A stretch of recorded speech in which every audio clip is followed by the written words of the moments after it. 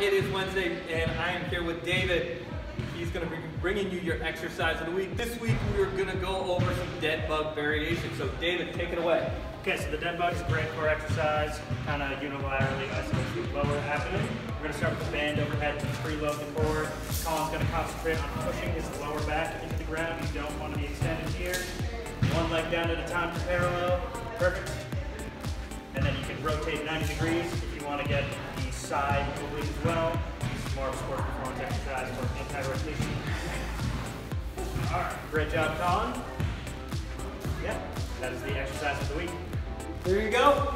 Give it a shot. Let us know what you think, and have an awesome day.